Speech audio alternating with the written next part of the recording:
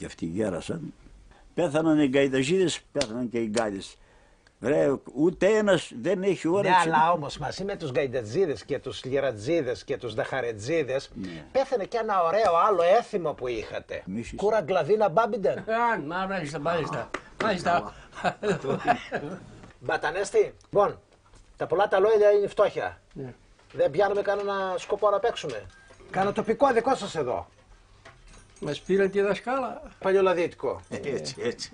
Αυτά τώρα τα παλιολαδίτικα τραγούδια, εσείς εδώ τώρα ως χωριό έτσι δίγλωσσο, σας τα επέβαλαν. Υπήρξε μια περίοδος, εσείς τα δίγλωσσα χωριά, που περάσατε κάποιες δυσκολίες. Ε, βέβαια. Αλλάξαν τα τραγούδια σας, δηλαδή ο Μεταξάς, να το πούμε έτσι, ας πούμε, έτσι, σας είχε επιβάλει, πες μπατανέστα, λέω ψέματα, Ρέγγες.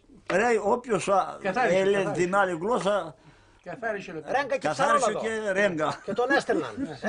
ε, έτσι δεν είναι; Έτσι, Λοιπόν, έτσι. στα πλαίσια ας πούμε του εξελινισμού κατά κάποιο τρόπο ήρθαν αυτά τα τραγούδια, τα έφεραν οι χωροφύλακες, οι παλιολαδίτες, οι ναι, μωραΐτες, ναι, ε, οι Έτσι. δάσκαλοι στα χωριά σας, έτσι δεν Οι πάντες είναι. ήταν όλοι από κάτω, δεν ήταν Καπαδοκαλιάνες δεν ήταν. Όλοι Μα από κανένας κάτω. χωροφύλακας και δάσκαλος δεν γίνονταν από τη Μακεδονία τότε. Όλοι από κάτω μας έρχονταν.